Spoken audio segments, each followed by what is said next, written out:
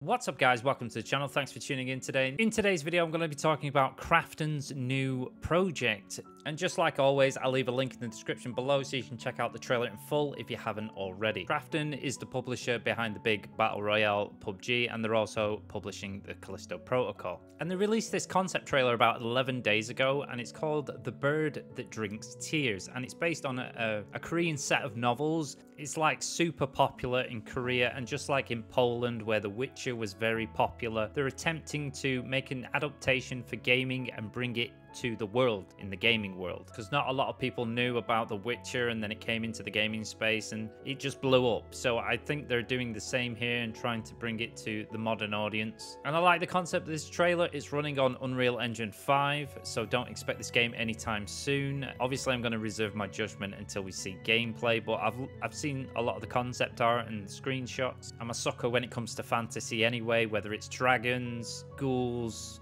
epic monsters, any type of mythology or folklore different like look we got a giant fucking chicken man. And it's going to be like a triple a single player dark fantasy and there's a few screenshots and I like the style of this obviously because it's Korean I like the fact that Krafton are actually branching out we had them publishing obviously the big battle royale PUBG and then they're moving on to Callisto Protocol and now they're publishing this and if you're familiar with Yong Ye, who is a popular YouTuber, he's got over a million subs on YouTube, he will be voicing the protagonist. I'm kind of late because I knew he was voicing some character, I just didn't know who it was or what for what game until today as of recording this video. And this is what I mean when I talk about these Korean devs, Japanese, Chinese, they're always pushing harder and being more ambitious with their titles than the West is pushing when it comes to games. They're, they're wanting to give you this really cinematic experience that's just so gorgeous to look at and super ambitious, as well as being different from what other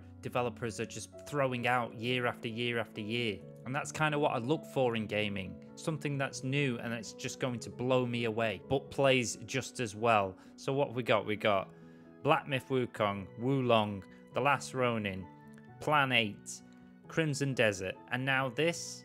And I know it's just a trailer, but it gives you an idea of what to expect and don't expect anything less when it comes to these types of developers or publishers that want to back these kind of projects. And obviously, this is Korean folklore and mythology, not Chinese, not Japanese. So it's kind of something we've never experienced before and probably don't even have that much knowledge about. I can tell you now that I certainly don't know anything about Korean mythology or folklore. So it's fresh, it's new, but I have seen plenty of Korean films, but nothing regarding this kind of theme. So I'm definitely gonna keep my eyes on this project over the years. Doesn't matter how many years it takes to make, I will will so wait for this. But that's what I think. What do you guys think? Let me know in the comments down below. I'd love to hear what you think. For me, the deciding factor whether this is going to be good for me personally would be obviously combat. It's always about combat for me. I've always been a combat enthusiast. So when I saw Black Myth Wukong, I thought the combat looks cool. When it came to Shadow of War, the combat's cool. Batman Arkham, combat's cool. If it can't deliver on that pillar alone,